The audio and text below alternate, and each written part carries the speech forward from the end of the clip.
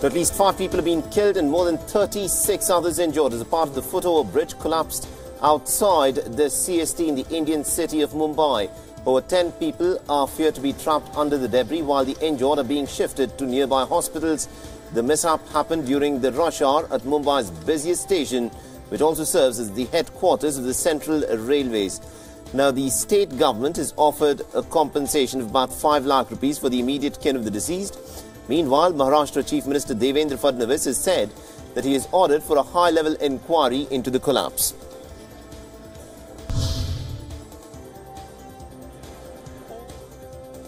The British lawmakers have voted to seek a delay in Britain's exit from the European Union. And now the stage is all set for Prime Minister Theresa May to renew efforts to get her divorce deal approved by the Parliament by next week.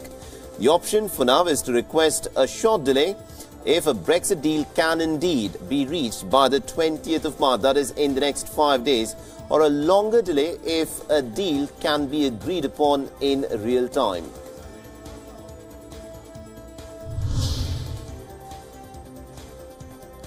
Meanwhile, the British Parliament has voted against a second possible referendum, turning down a chance to hold the public voting on Brexit's future. Now, the Labour Party leader Jeremy Corbyn had suggested for a public vote, saying that it would be realistic to in fact break the deadlock.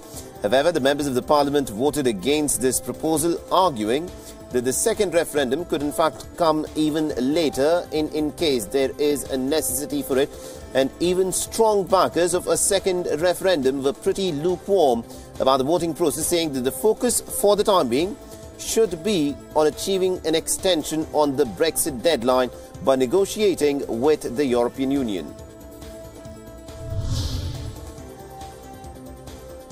Now, on the other hand, European Union's chief Brexit negotiator Michel Barnier has refused to comment on the extension request on, the, on Brexit, stating that the current Brexit deal is the only one that is presently available and it is indeed preferable if Britain were to accept it. Now, speaking at a summit in Bucharest, Michel Barnier held up a copy of the withdrawal treaty, saying that the current divorce deal was preferable to a no deal or to a hard Brexit or to a disorderly separation of Great Britain from the European Union.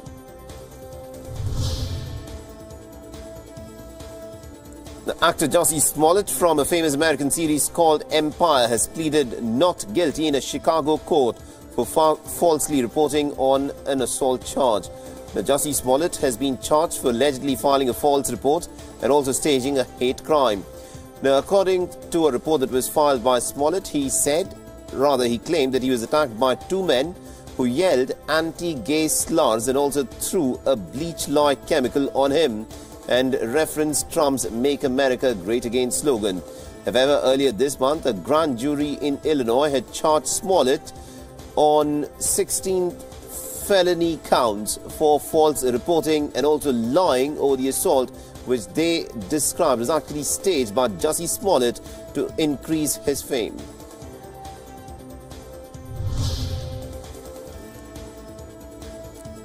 The U.S. Senate has passed a proposal to terminate President Donald Trump's declaration of an emergency at the southern border. The 59 to 41 vote marks the second Senate rebuke of Donald Trump in a span of just two days. But Trump's plans to reject the bill by vetoing it in a tweet after the voting, Donald Trump has said that he is in fact looking forward to vetoing the just passed Democrat inspired resolution and has thanked the Republicans for supporting the wall.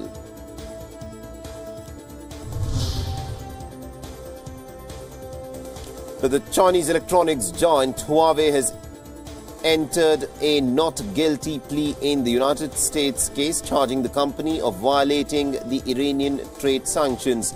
The company was arraigned on an indictment that was filed in a federal court in Brooklyn. Prosecutors have accused Huawei of using a Hong Kong front company to trade with Iran in violation of the US sanctions.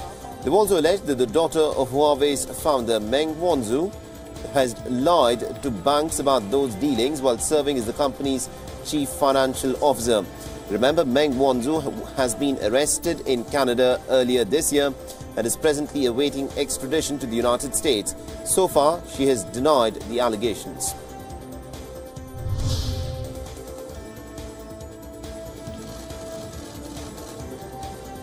The Saudi Arabia's Human Rights Commission has dismissed an international investigation into the Jamal Khashoggi murder case, and this comes after Turkey said that Interpol had issued a red corner notice for about 20 people in connection with the murder case.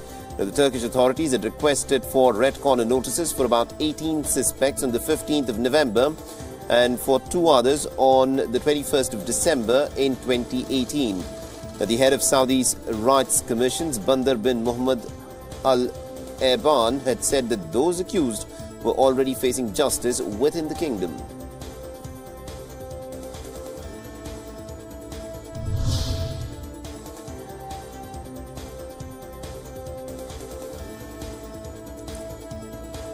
According to the findings that have been presented by the Polish Catholic Church, as many as about 382 children were sexually abused by the clergy in Poland between the years 1990 and 2018. The report follows investigations into widespread abuse of minors by members of the clergy in other nations as well, notably in Chile, the United States, Australia and Ireland that has shaken the Roman Catholic Church to its very foundations. The Polish bishops last year had asked victims of the past clerical abuse for forgiveness and began collecting data to identify the causes of those deeds and also assess their scale.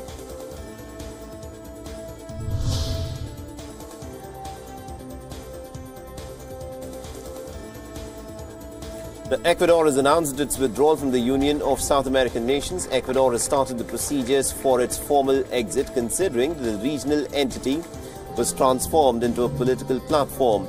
Last April, Argentina, Brazil, Chile, Peru, Colombia, and Paraguay announced that they will stop participating indefinitely in UNASUR. Now, Colombia had announced its definitive withdrawal just months later by ensuring that the agency has been an accomplice to the government of Nicolas Maduro.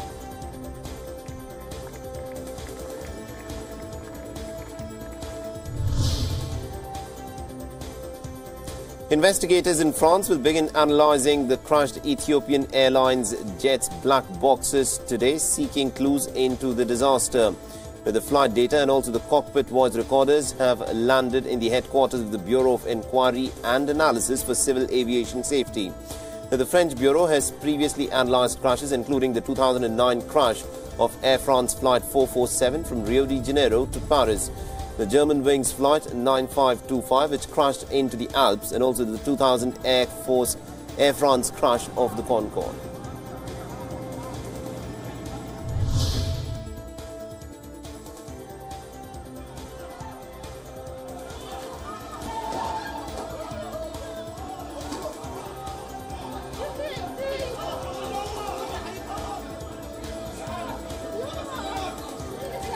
The Hamas forces in the Gaza Strip were forcibly dispersed. Hundreds of the Palestinians were protesting against the dire living conditions in the blockaded territory. Video circulated on social media show the police firing live rounds in the air and also beating protesters and hauling them into police vehicles.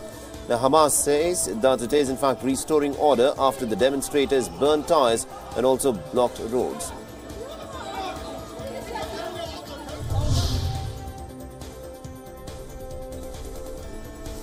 Now, the Islamic State militants, along with women and children, have surrendered in, the, in their hundreds in the US-backed forces in eastern Syria after losing ground in their last shred of territory.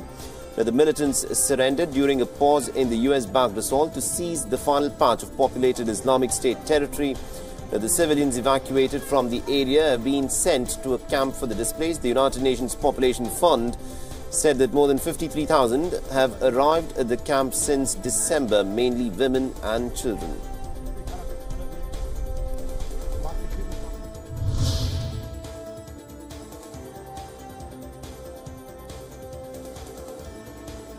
Now, the United Nations has raised almost about $7 billion in terms of aid pledges for Syria after eight years of civil war. The European Union, the world's biggest aid donor, has pledged almost about 2 billion euros for this year and the European Commissioner for Humanitarian Aid has said that the participants in the donors' conference sent a strong message that a political solution could turn Syria into a stable, democratic and prosperous country. Now, Syria has, of course, become the world's largest refugee crisis with more than about 5.6 million Syrians fleeing to Jordan, Lebanon, Iraq and Egypt.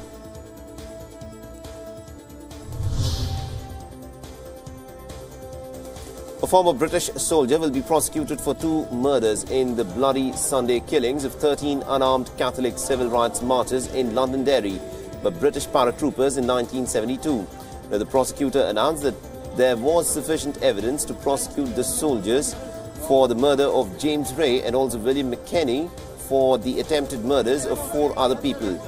Now, the brother of the victims has said that he was relieved by the decision but extremely saddened for the other families who are still seeking justice.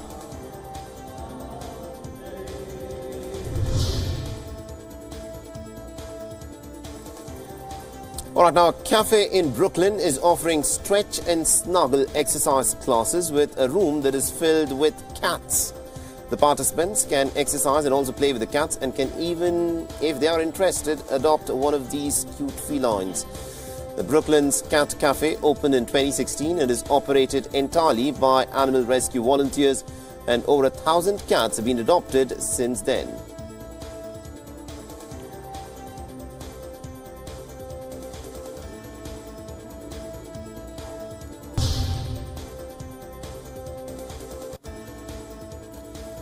So an intense winter storm called Bomb Cyclone has slammed the state of Colorado with snow and hurricane force winds. The cyclone is now threatening towns in the central United States with heavy rains, flooding, and even tornadoes. Over 148 vehicles were stuck in the storm, and around 75 people have been rescued by the Colorado National Guard. Now, there have been no fatalities, but there were injuries ranging from minor to serious.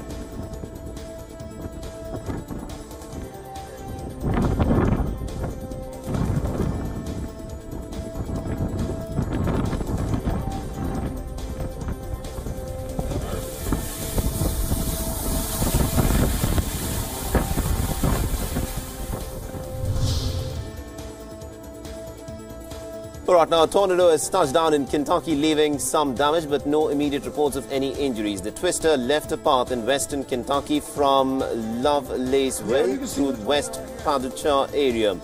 A local resident has filmed the forming of the cyclone as it moved across a field of trees in Paducah.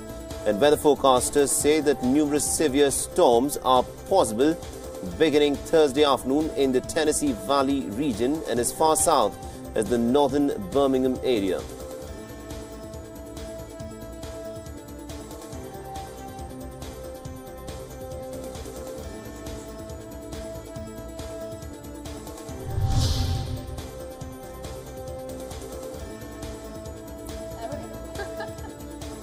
Now, a number of young people are organizing a large demonstration on climate change called the March of the Century in Paris on Saturday. The members of the Youth for Climate movement in France will call on the government to take some concrete action for the environment, saying that the climate cannot wait.